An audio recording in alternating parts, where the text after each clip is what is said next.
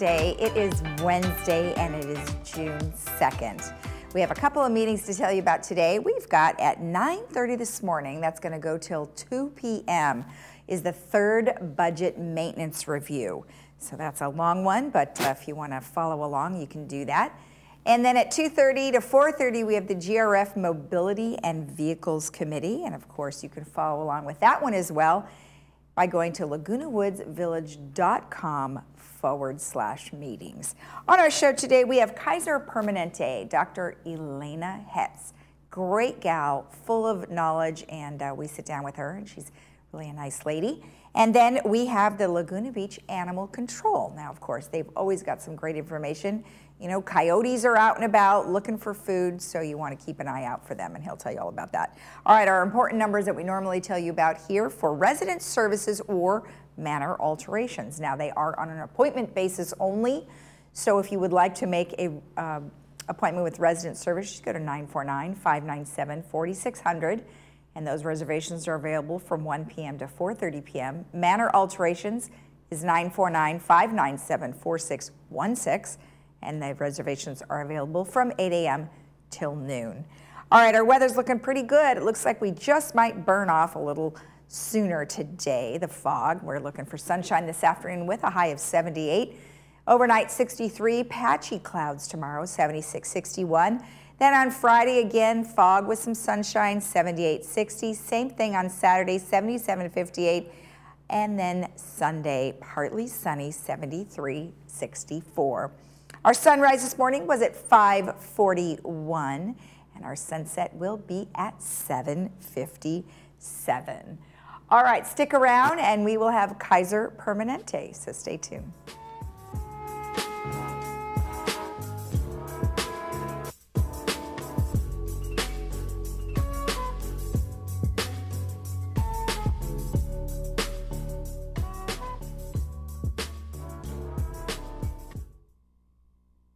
Why do I love being a doctor at Kaiser Permanente? My only job is to take great care of my patients.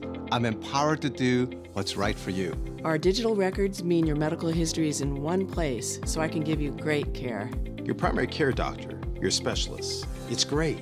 We all work together as one team. Our integrated approach to healthcare helps my patients live longer, healthier lives. I don't just practice here, I'm a patient too. I wouldn't trust my family's healthcare to anyone else.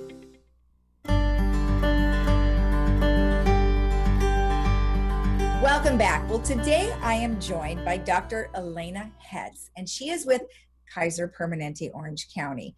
Now, she's a family medicine physician as well as the primary care champion for their Healthy Bones program. Well, Elena, thank you so much for joining us today. I appreciate it. I'm happy to be here, Lisa. Thank you for the invitation and the opportunity to speak about this really important topic, especially for our seniors out there. Well, exactly. And, you know, the, the subject matter today is osteoporosis. And oftentimes, we have absolutely no idea that we have it. And so, before we even get into how we would know, can you tell me what osteoporosis is? Oh, absolutely. So, osteoporosis, what that word actually means is um, is uh, porous bone. So if you look at bone under a microscope, it actually sort of looks like, like a honeycomb. So there's the bone structure with all these holes in it, and those with osteoporosis have lower bone density, so those holes are bigger.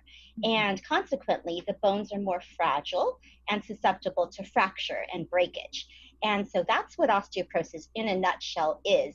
And you have a you made a really good point, Lisa, about it not about us not always knowing whether or not we have it. We actually call osteoporosis um, a silent disease because many times most people with osteoporosis have no symptoms at all until they actually fall and have a fracture which of course is is very painful so it's only at that point that we may know but we do have ways now to screen for osteoporosis Right. Yes. In fact, um, you know, you do bone density um, screening and things like that.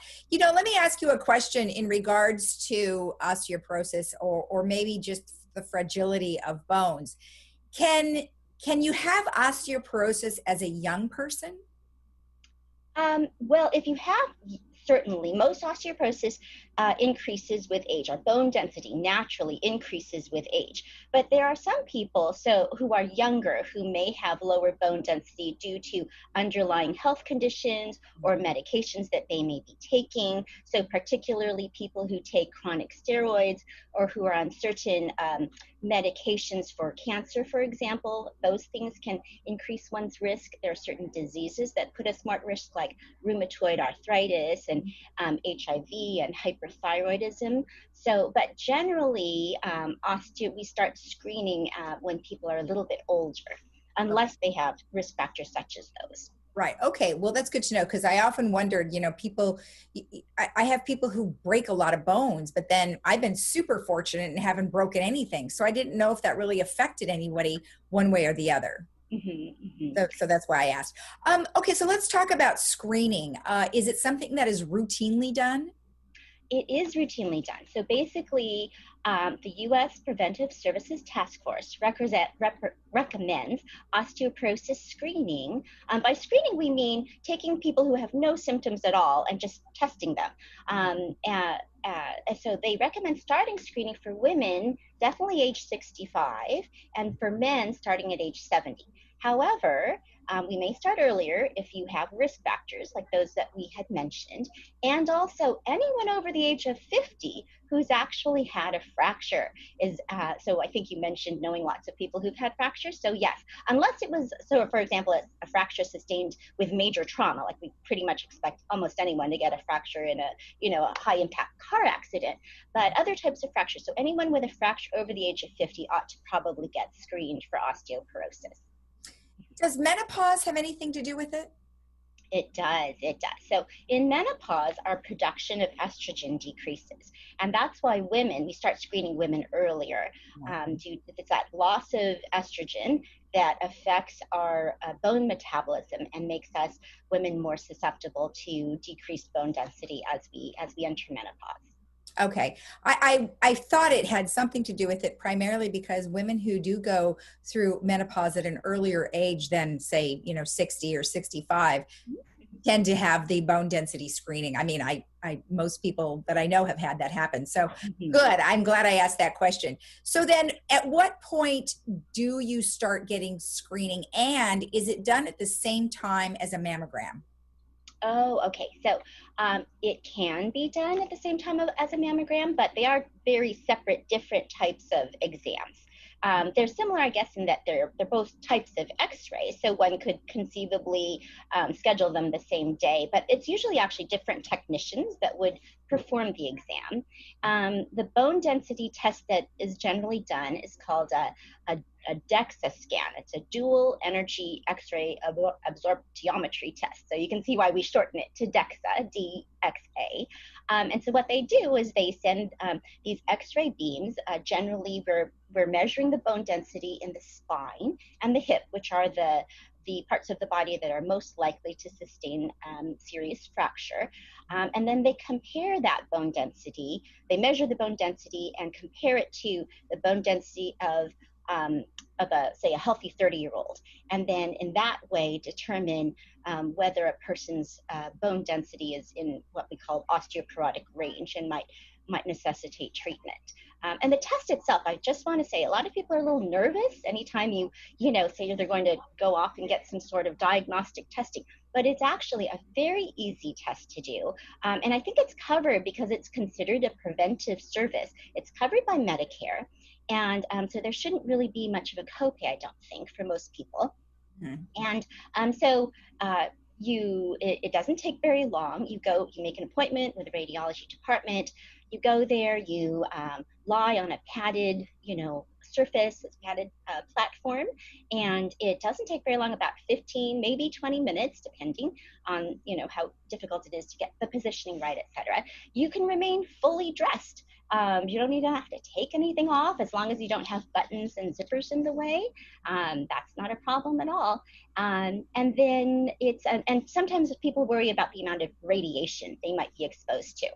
So I just want to reassure people on that point. Um, it is a very uh, low dose of radiation that's used. In fact, um, just flying round trip, say from the west coast to the east coast round trip, that is actually 15 to 20 times more radiation than one would get from actually doing one of these little DEXA bone density screens. Wow. That's a that's a crazy comparison. I had no idea that we were being exposed like that. Oh my gosh. Okay, so let's talk about treating osteoporosis. So once you've found someone that has uh, you know the beginning stages of it, what do you provide? Okay, so so there are uh, there are of course medications for osteoporosis, but before we get to we will we can get to that of course, but I do actually I think that fall prevention is something that doesn't get enough attention. And this is something that um, that people should be aware of. So um, there are a lot of things that we can do in our homes um, to decrease our risk of falling, like taking out uh, throw rugs and things, making sure we have grab handles, make sure making sure the lighting is good in our hallways, maybe using night lights, things like that. Um, and a lot of, I think, um, many health insurance programs, including ours here at Kaiser, offer uh, fall prevention and balance training classes. So I would encourage everyone to take advantage of those things. If you are a little unsteady, make sure you're using your cane and your walker because, you know, should a person actually fall and break a hip, it's actually really serious. Um, unfortunately, about 40% of people who sustain a hip fracture um, don't ever return back to their pre-fracture uh, level of function. And a good portion end up in um, in nursing homes, you know, after after sustaining a fracture like that. And unfortunately, about 20% of people, um, it's a high mortality rate. About 20% of people actually die within the first year of sustaining a fracture. And um, it's from complications of the fracture, complications of whatever surgery they need to repair it. So mm-hmm. it, it is a really serious problem. So, um, so, so fall prevention is one thing. Mm-hmm. Other things, of course, eliminating uh, if a person smokes any kind of level, any level of smoking or tobacco exposure. It's important to to get rid of that. And I think most health plans, including us, have lots of uh, tobacco cessation programs available. Um, and then uh, alcohol uh, limiting alcohol use is also important. So we try to encourage people to limit their alcohol use to, for men, less than two drinks per day, and for um, women, less than one drink per day if possible. So that's one thing. Um, calcium and vitamin D. You've probably heard a lot about calcium and vitamin D and how much should I take and is it safe to, to take all that. Um, so, with regard to calcium and vitamin D, uh, generally we recommend about 1200 for, for people over age 50. We'll just make a sort of a general guideline, a good guideline uh, for the average person over 50, about 1200 milligrams of calcium per day and a thousand units, international units um, of vitamin D. Um, and when it comes to calcium, there are all kinds of supplements out there, right? You walk into a vitamin shop or a drugstore, there's so many. What do you use? How much do you need?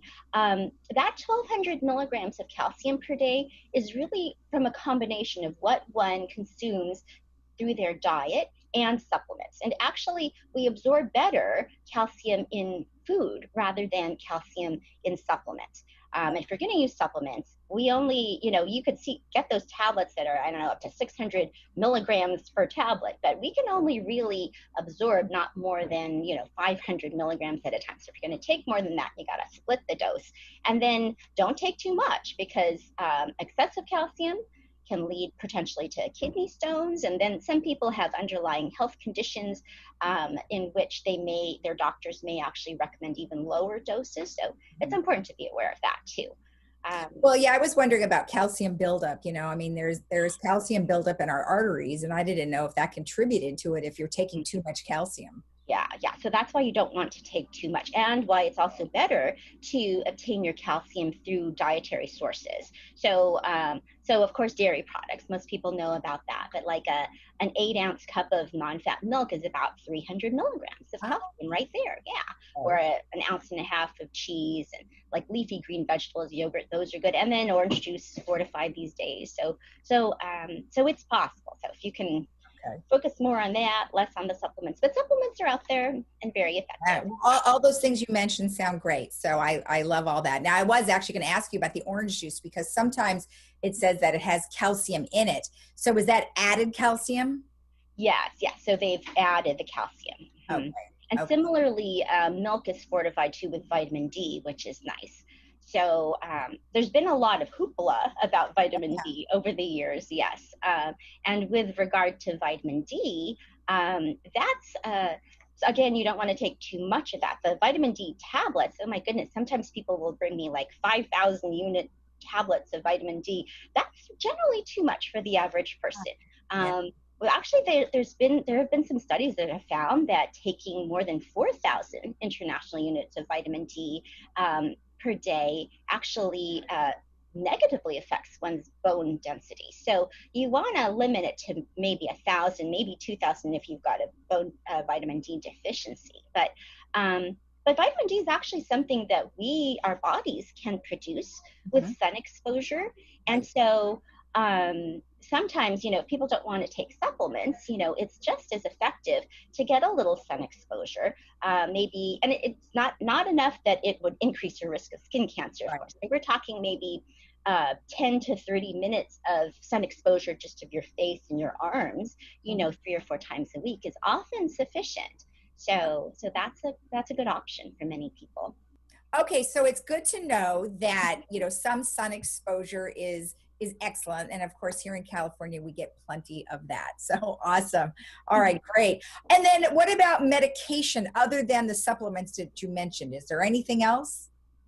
Oh, sure, yeah. hmm There are lots of medications out there these days for uh, for osteoporosis, but our first line medications are the what we call the bisphosphonates, and these are medications like Fosamax um, is a very common one, or Ibandronate. Um, these are these medications are given or actually orally.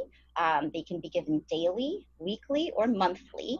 And then there's actually an intravenous form of the bisphosphonates. It's given once a year for those who are, for whatever maybe medical conditions, they're unable to tolerate um, to tolerate, uh, you know, oral um, medications.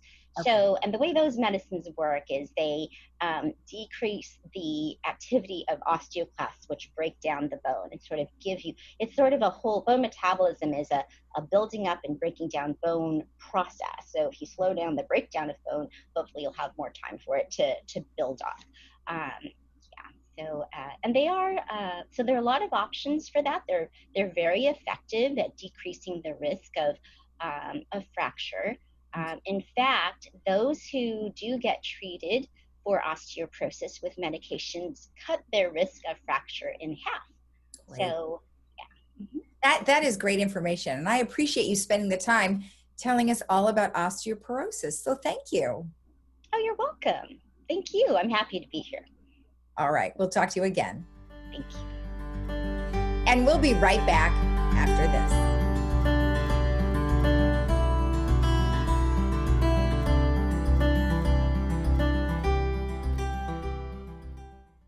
Jackie, I'm looking at your MRI. Your shoulder seems to be healing nicely. Well, Dr. Farrell, it feels really good. That's good. And I'm sorry. Baby, don't touch that. I don't want you to play Twinkle, with it. twinkle, little star, how I wonder what you are. Up above the world so high, like a diamond in the sky. I'm so glad that your shoulder's feeling better, but how are you doing? I'm hanging in there. Schedule a video visit with your doctor and get quality care with no copay. Kaiser Permanente. Thrive.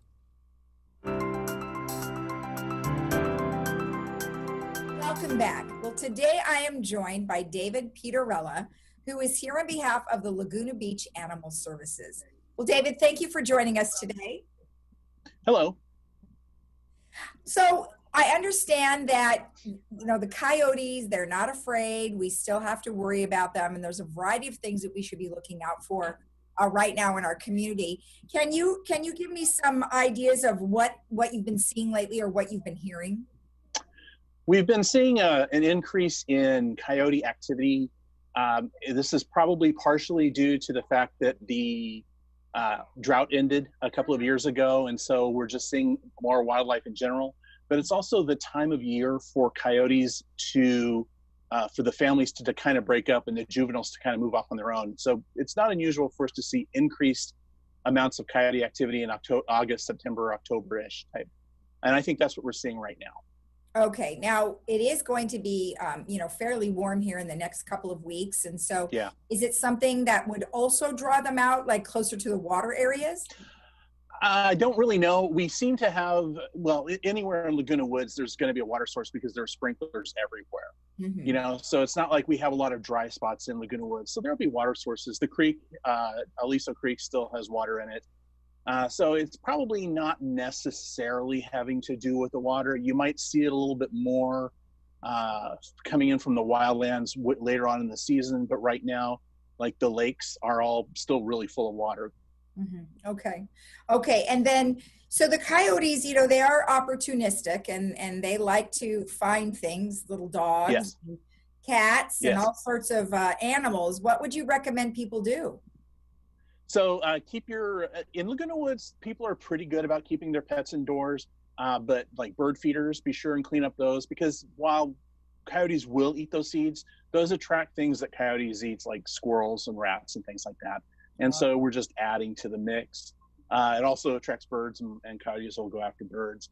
So anything that would attract something that would attract a coyote, we we kind of want to keep under control. Uh, keeping a close eye on our dogs and cats. Uh, we seem to be, for a while, Laguna Woods was pretty good about uh, keeping their cats indoors, but I'm beginning to see more and more cats outside.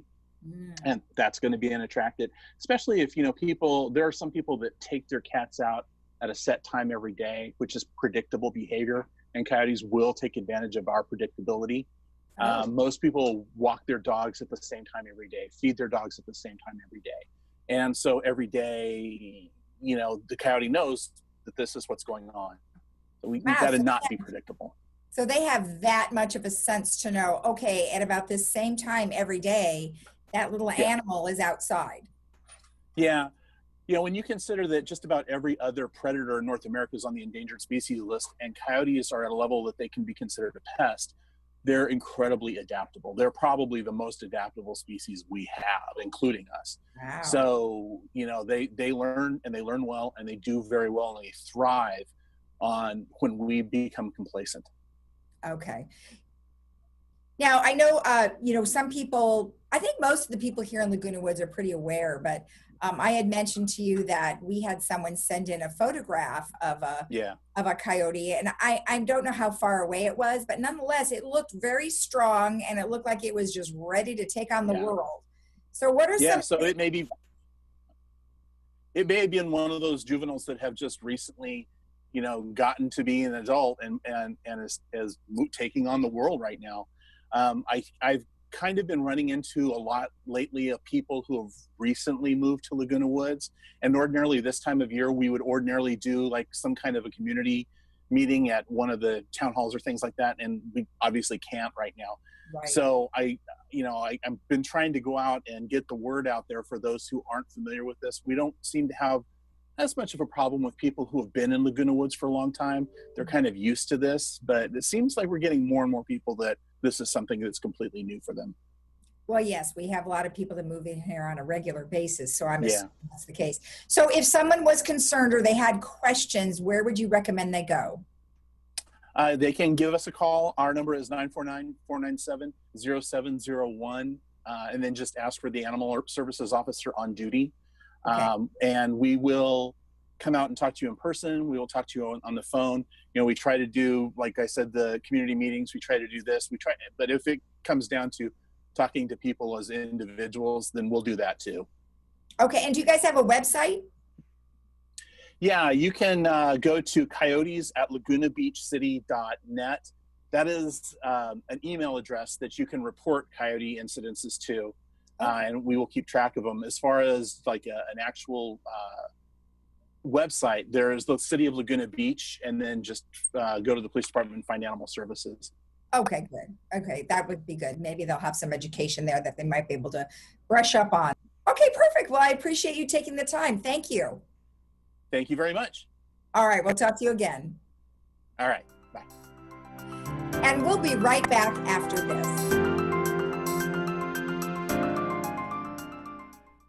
Laguna Woods Dental Care, our goal is to serve and provide dental services to the residents of Laguna Woods. Dr. Mohsen Mahmood is currently specializing in senior dental care at USC School of Dentistry.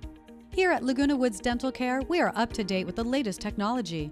Our top priority is your overall wellness, ensuring your current medications do not affect your oral health. We offer an affordable membership plan that includes cleanings and deep cleanings if recommended. We're located outside Gate 3. Call us today.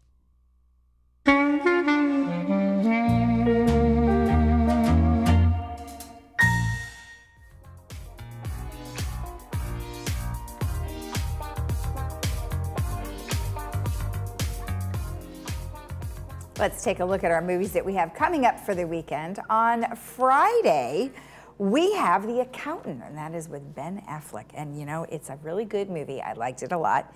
And uh, you can watch that this Friday at 2 p.m. with subtitles and 6 p.m. without. And then on Saturday, we have a Korean film called Minari, and that um, is starring Steven Yeun, and he is a showing a Korean American family that moves to an Arkansas farm. And you can see it on Saturday, 2 p.m. with subtitles and 6 p.m. without subtitles. Now, just a couple of announcements that I have for you. You can see baseball right here in Orange County, not having to go all the way to the Angels Stadium.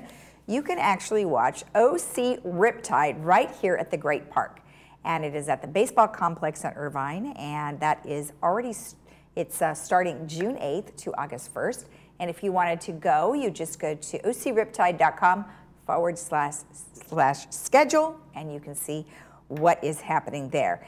Um, also, just wanted to give you a heads up that the Hearing Well Club has now become HLAA, and that is an organization, a much larger organization uh, that can help with lots of different things, uh, according to Tony Barriant. And they are having a hearing uh, event that's June 8th, and that'll be at 11 o'clock in the morning. And if you would like more information, you can call Tony uh, at 949 614 5307, or you could email her at tony at hlaamv.org.